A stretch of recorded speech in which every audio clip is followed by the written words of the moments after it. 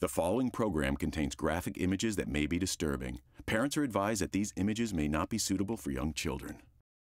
Melissa, who you saw in that video, joins us with more on how she discovered her daughter was involved in this Blue Whale Challenge.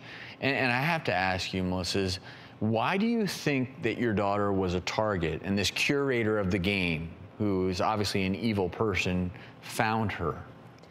Uh, my daughter's on Instagram, so she suffers from depression and anxiety. So a lot of the times she will hashtag depression or she'll follow other followers. She'll make comments, uh, make comments about, you know, yeah, I suffer from depression. Do you need to talk? And I think that people scope these out and realize and target kids that make it very noticeable that they are suffering from depression.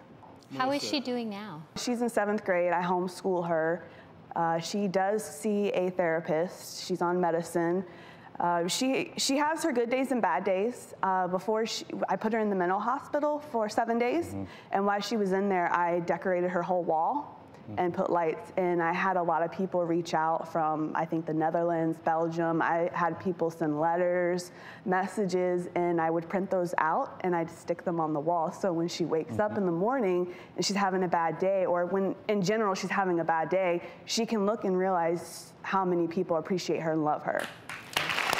Melissa, I understand that you and Isaiah's parents have a special connection. Can you tell us about that?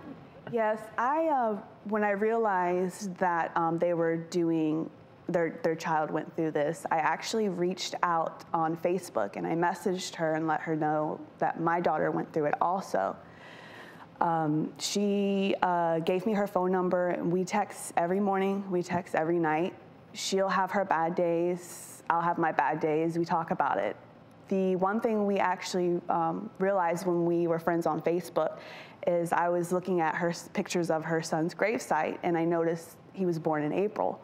And I asked her, I was like, you know, when is your, when is your, when, when is your son's birthday? And she said April. And I took a picture of my daughter's birth certificate and I sent it to her and we realized our kids were born on the same day.